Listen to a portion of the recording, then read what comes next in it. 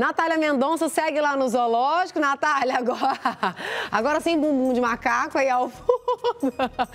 Conta pra, conta pra mim quais são as melhorias que vão ser feitas aí no zoológico de Goiânia.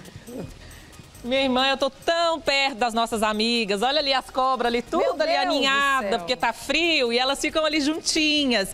Essas são as pitons, tem duas amarelas, uma mais branquinha, essas são consideradas albinas. E tem uma que é preta, assim, mais escurinha, se é que a gente pode dizer, aquela que tá com a cabeça para cima ali. Vamos tentar ser ligeiro nessa entrevista aqui. Eu tô aqui com o Valderi Júnior, que é presidente da AGETU.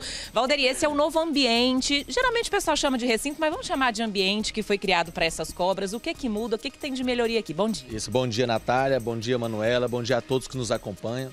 Sim, esse aqui é um recinto que foi feito próprio para essa espécie, atendendo a todas as normativas.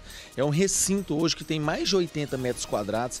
Elas ficavam em um recinto de 25 metros, né? Isso é para proporcionar principalmente bem-estar para o animal. Ficou lindo, muito bem adaptado agora e é um presente que nós estamos disponibilizando para o cidadão goiano e goianiense. E para essas cobras, com certeza, ó, tem um tanque aqui para elas, elas gostam inclusive de entrar aqui. Tem uma espécie de uma fonte aqui, de uma cachoeirinha que dá esse movimento na água. Aqui em cima, Manu, eu tava até pedindo pro pessoal me explicar, vou explicar para vocês o que que tem aqui. Tem duas telas.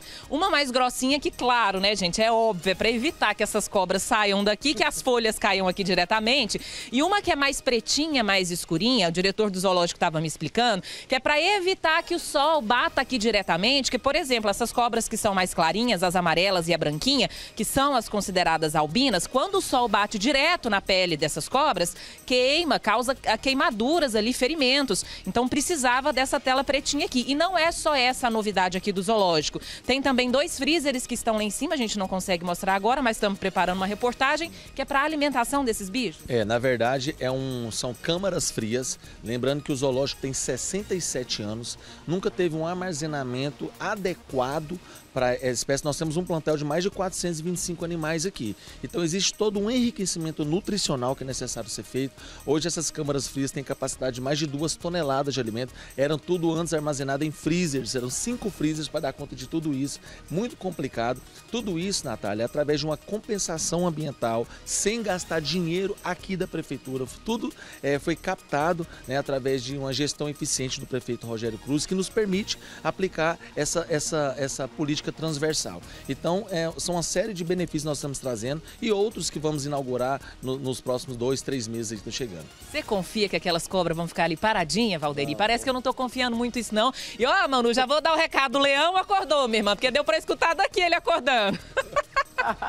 Ó, oh, Natália, a Sara tá falando aqui pra mim que se você, se você for, for repórter raiz, você pode ir lá entrar na do Leão também pra fazer a entrevista. Nunca precisei, Nunca meu amor. É como diz o João, vou repetir a frase de João Roberto, meu cinegrafista. É pra isso que a câmera tem zoom, meu bem. A gente fica de longe, a câmera vai no zoom.